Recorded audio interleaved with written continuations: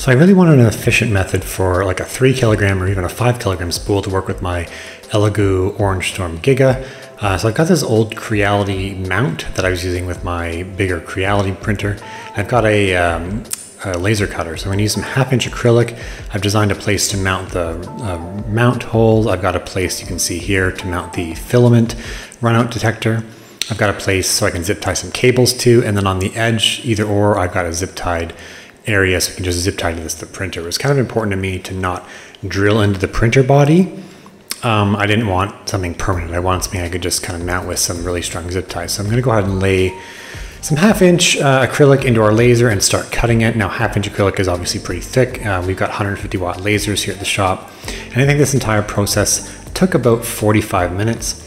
I still find it weird that Elegoo didn't include a big filament holder um, or at least somewhere to mount it on top in the middle where the was, thing wasn't going to get all jammed up. I've seen a lot of people complaining about this because the filament holder Elegoo gives you with the OrangeStorm Giga is literally just for a standard one kilogram roll.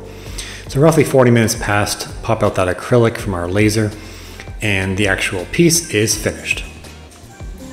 Just gonna knock all the pieces out of it, and there you go, you've got all the cuts designed that I had designed in CAD. And I'm gonna bring it over to my shop next and start working on this. So basically, like I said, I had that Creality uh, spool holder, so I'm gonna take the sides off it. I don't need the base, but I mimicked the holes um, in the actual acrylic that I have here. So I'm gonna unscrew this, not really a perfect tool for this. I didn't have any M2 Allen key with me.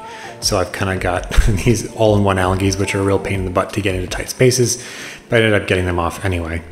And they have three screws on each of these posts, but I'm only using two screws. Now in hindsight, you'll see once I actually drill this and tap this, um, I didn't make the holes big enough to start tapping in the acrylic, so I ended up stripping it and I ended up having to kind of glue these down anyway. But in the end, all I cared about was, you know, the final product, getting it working. Uh, so I didn't have to keep changing my filament out every time. So what I'm doing here is I'm just drilling out some bigger holes so I can mount those uh, those rail holders that I took apart from the Creality um, filament holder. And then I'm just test fitting the screws that again came with a Creality filament holder, which I think are M4 thread and then I can take my screws and thread them right into the acrylic. But like I said already a couple times is I kind of over threaded them and they kind of ended up getting a little bit wonky. In hindsight, I would have made the, the holes bigger or I would have used uh, the brass knurled inserts to press into the acrylic and then actually screwed into those. Next thing I'm going to do is turn this thing over and put the, uh, the runout filament sensor on. Now these screws that come, the runout filament sensor comes with are really small, so I just heated it up because what that's going to do is it's really going to melt the acrylic as I screw into it. Um, I probably should be wearing a mask at this point. You can see all that kind of acrylic melting there. But once that's set and in there, it's essentially threading the screw for you. And you can see that runout sensor is mounted at the bottom here, which is going to work uh, almost as well or just as well as it would from the factory uh, setup that the Elegoo printer has.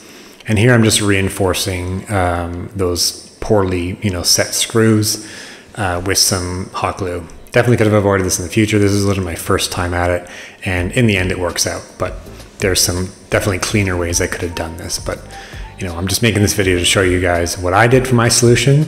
Um, I see a lot of people that are trying to use like PVC pipe or ABS pipe and stuff, and that causes some issues with the, the runout sensor and stuff. I'm going ahead and going to mount this. You can see it's basically 48 inches wide, which is the carriage uh, width of the printer and I didn't want to drill into this thing or screw into the printer, so I've got some like super thick zip ties, and I created those voids in the design so I can literally just run the zip ties right through and around the body. And where this thing's positioned, I can't see really the print head getting that high up unless I'm doing like the absolute maximum height that this printer will um, accommodate.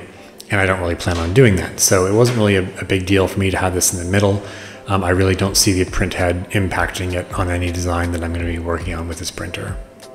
This is literally just a spool holder um, that I modified for the Creality thing, and it's just a, it's like a cylinder, 3D printed cylinder with some threaded uh, holes at the end that match the Creality, um, match the Creality filament holders.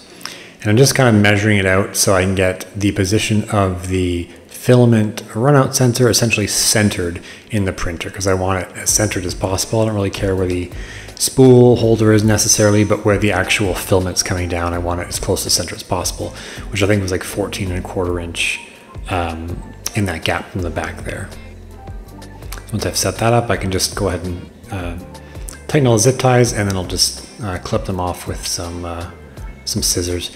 Now this half inch acrylic is pretty thick, but it still does flex a little bit, uh, not to the point that it's gonna break. Um, it's, like I said, it's half inch acrylic, it's fairly strong.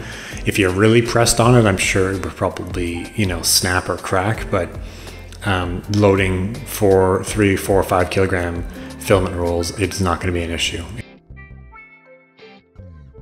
And then I've got the runout sensor wires I just pulled from the aluminum channels and then I'm going to get some zip ties just to clean that up and zip tie them in a second. But I've got my roll coming out here and you can see I'm going to detach the the cylinder that I printed earlier, which I didn't have in this video, but it's a pretty basic cylinder with, with two threaded holes in the back on the, on the edges. And then I've got a M6 threaded knob to keep it in place. Got it through the runout sensor and I'm just gonna clip the edge of this to get the fold out and then I'm gonna run it into the extruder. And you can see it holds that um, filament roll really, really nice with very little friction. And then you can see hopefully at the back here where I'm taking the filament, uh, sorry, the runout filament, the filament sensor runout wires that are spare and then just zip tying them to keep them out of the way.